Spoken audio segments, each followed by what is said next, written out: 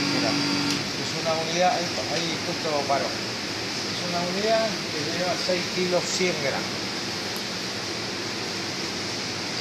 Ahora ella paró y está temporizada. Está temporizada porque está a la espera de que caiga todo el agua del evaporador, que en este momento no tiene porque recién la pusimos más. Pero es para que si arrancan los forzadores adentro, no moja la mercadería. Ahora en un ratito seguimos, amigos. Y el motocompresor está trabajando bien, está bien lubricado. Este es el visor de aceite que nos indica cómo está el aceite adentro y cómo está funcionando la bomba de aceite de este compresor.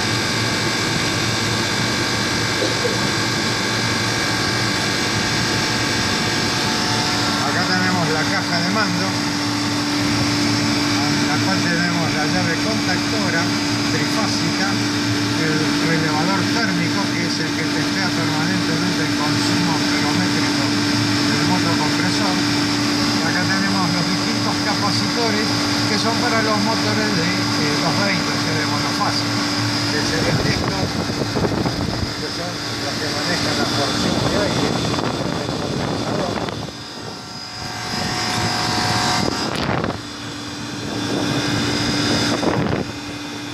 Acá tenemos el filtro.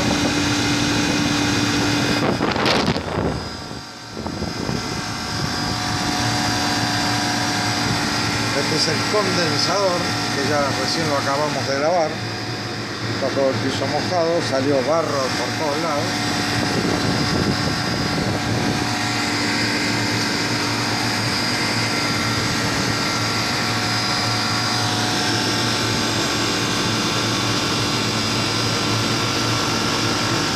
Ahí el aceite se está sentando. Se está sentando, está levantando el nivel porque los forzadores internos recién arrancaron de vuelta. Entonces está aumentando la presión. Al aumentar la presión, el aceite no puede espumarse. Entonces se licúa nuevamente.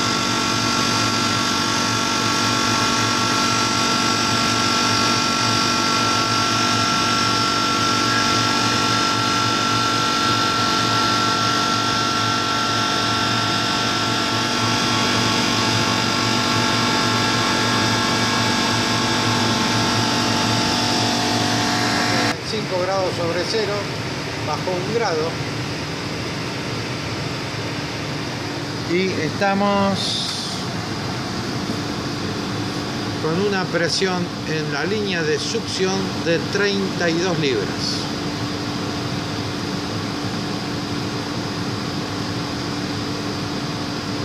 Ahí está cerrando la válvula suavemente.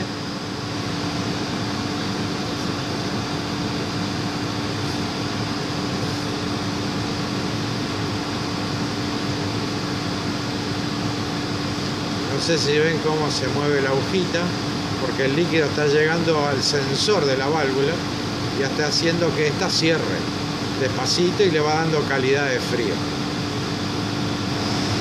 Ahí lo tenemos en 29 libras.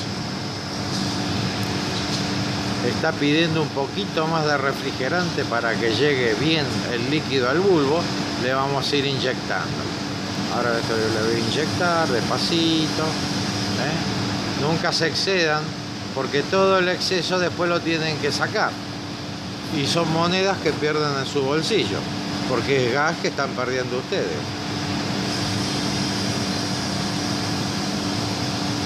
Ahí lo estoy cargando despacito.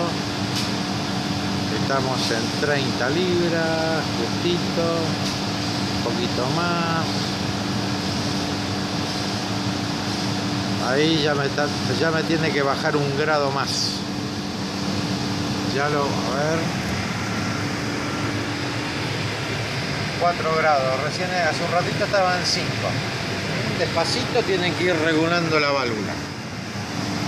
O sea, la carga de refrigerante tiene que ser suave y mirar bien atentamente la aguja lo que nos dice La aguja nos está hablando, transmitido por la válvula expansora.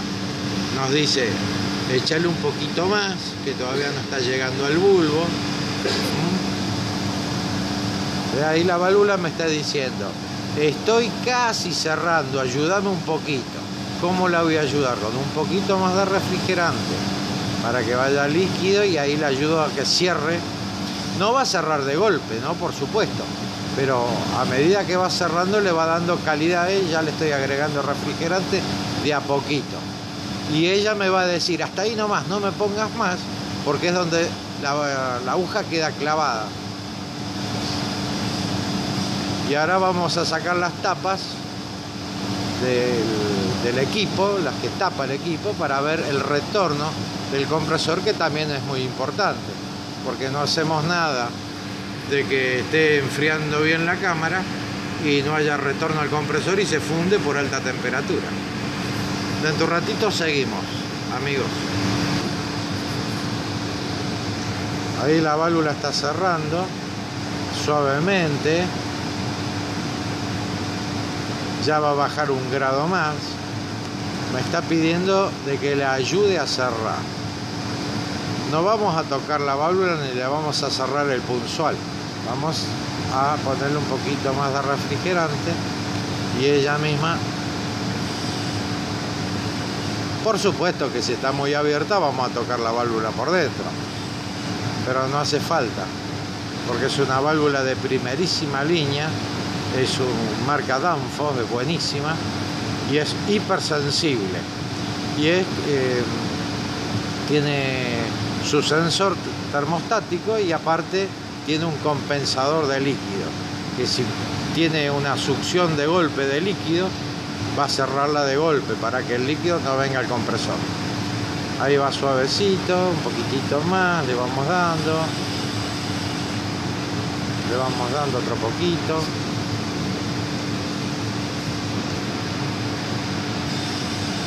otro poquitito, ahí está. Ahí abre y cierra, abre y cierra. Ya está por bajar otro grado más.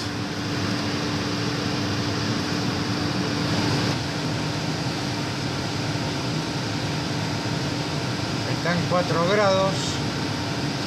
Las lucecitas verdes que se ven a la izquierda indican la de arriba que el compresor está funcionando y la que está prendida más abajo que los forzadores adentro también están prendidos. Es un convistato también de primerísima línea. Italiano.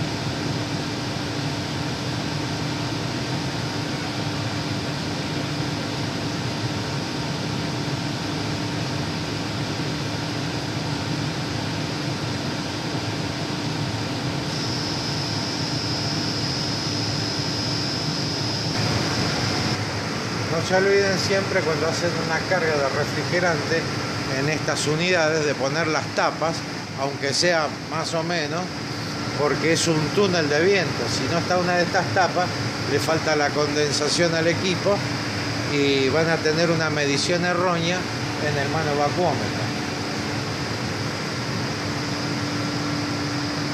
Después una vez que terminemos sacamos la tapa sacamos nuestra manguera de servicio, ponemos la tapita para el compresor para que no tenga pérdida y atornillamos todo, limpiamos y ya es un trabajo que va a estar terminado.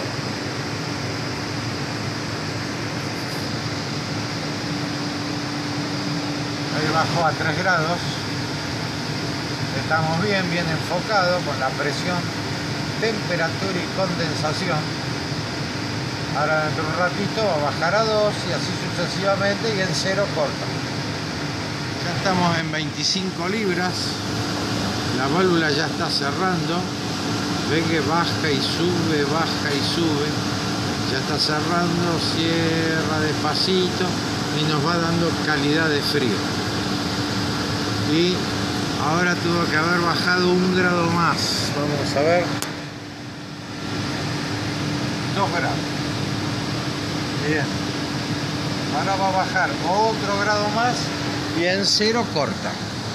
Cero grado. Ahí ya está cerrando a pleno la válvula, así que ahora enseguidita va a comer calor rápidamente. Estamos en un grado. En cero va a cortar. Tenemos una presión de 27 libras. Estoy un poco incómodo acá arriba de la escalera.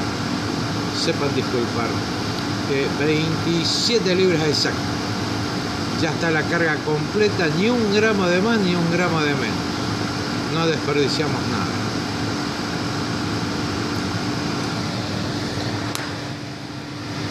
Un gradito. 0 grados en segundos va a cortar.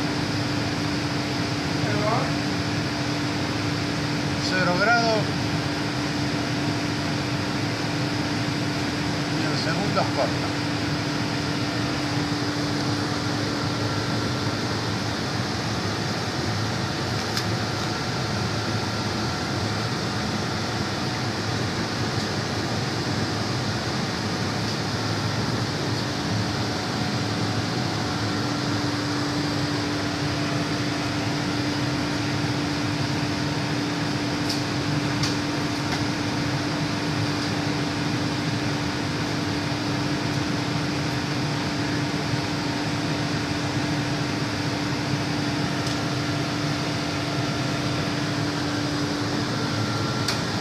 Con una presión de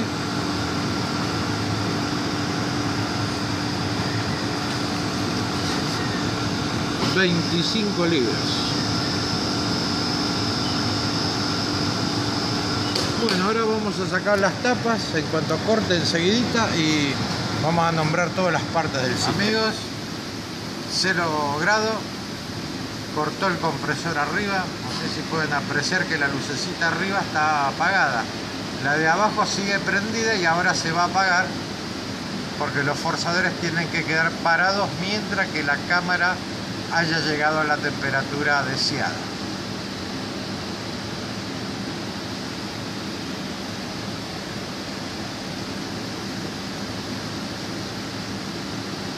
Los detalles y las partes que tiene el equipo y con esto finalizamos el trabajo de hoy.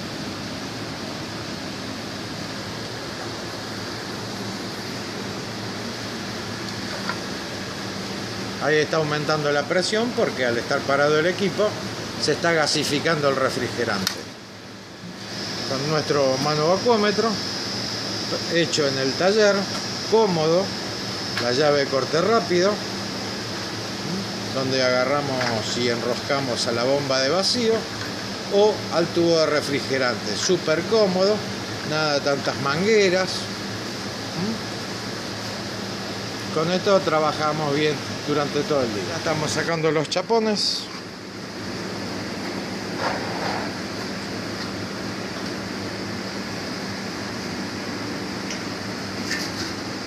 Ahí está. Bueno. Le digo las partes que tiene este sistema. Acá tenemos el primer forzador que es el encargado de condensar los gases refrigerados. O sea, hace que pase el viento forzado. Tenemos el segundo y tenemos el tercero. Por eso yo les decía que los chapones tienen que estar puestos, porque él toma aire, toma aire de acá abajo, y si no hay eh, alguien que le diga a los forzadores por acá tiene que pasar el viento, eh, se degenera, entonces se nos va de temperatura y de presión. Bueno, acá tenemos el filtro, filtro deshidratador, que es un filtro molecular 5 octavos por 5 octavos para soldar. Acá tenemos el tanque recibidor, que es el encargado de recibir el líquido generado por el condensador y así abastecer a la válvula expansora en forma continua. De líquido estamos hablando del refrigerante tenemos la electroválvula. Esta electroválvula cumple la función cuando llega el momento por tiempo para que pase el refrigerante caliente generado por el motocompresor al evaporador y así producirse el descongelamiento. Así no hay bloqueo de hielo. Es una electroválvula también de primerísima línea donde va a pasar el gas caliente una vez que el combistato, que sería el cerebro del sistema, habilite eh, y mande el gas caliente hacia el evaporador. Acá tenemos los presóstatos. Este, este que está acá es el presóstato de baja. Presóstato de baja cumple la función que si se queda sin refrigerante, él corta todo el sistema, o sea, apaga la eh, contactora y no deja que arranque el motocompresor. Acá tenemos el otro presóstato, este es el presóstato de alta. Si se llegaría a pasar de presión porque se tapó el condensador o los ventiladores se apagaron o se taparon por cualquier motivo, al irse de presión en 280, 300 libras, él corta también el sistema. Después tenemos la línea de succión, ¿eh? se las voy a abrir un poquito para que la vean. Yo le acabé de poner un forro térmico para que resguardar el frío que viene hacia la unidad motocompresora. Viene toda la línea de succión y acá en el motocompresor, no sé si pueden ver que está mojado, acá viene helado para poder enfriar el bobinado de la unidad motocompresora. Acá tenemos la caja eléctrica donde entran los 380 que alimentan la unidad motocompresora. El dispositivo que está acá adentro se llama Thermetic. Bueno, ahora vamos a sacar nuestra manguera de servicio. Sería como un caño de apéndice, por decirle así, pero ya viene en la unidad motocompresora. Está perdiendo un poquito, vamos a ajustar la válvula interna.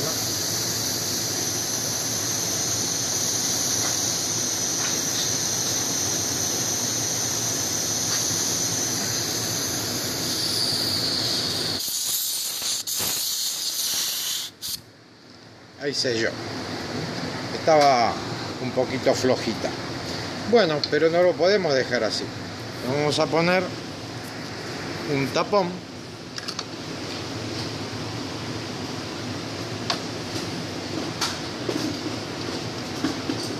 Que tiene un O-ring adentro.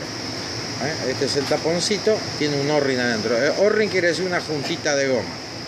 Y ahora vamos a tapar la caja de comando tiene que quedar bien hermética.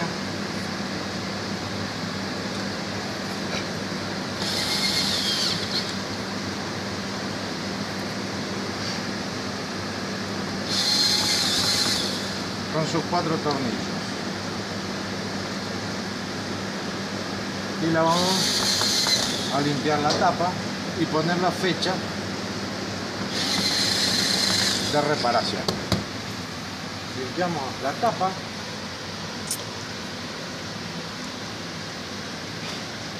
y ponemos nuestra fecha. Hoy es 26 10 del 15 no se olviden nunca de poner la fecha interna por una cuestión de la garantía bueno vamos a poner la otra tapa y ya pasamos un, un trapito acá enjabonado y ya el trabajo está terminado.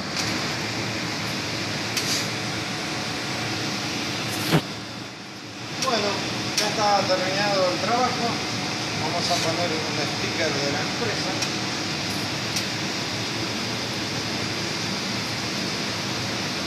Cosa que nadie puede abrir las tapas.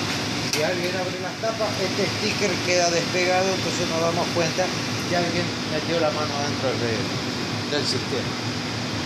El trabajo ya está terminado. Vamos a poner la fecha acá.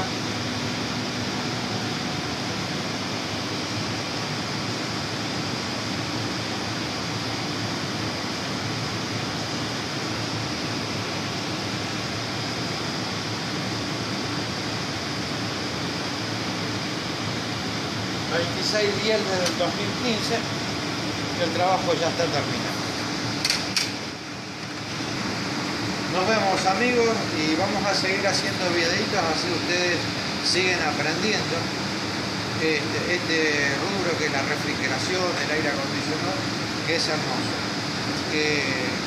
un saludo para todos y que Dios los bendiga a cada uno de ustedes. Éxito.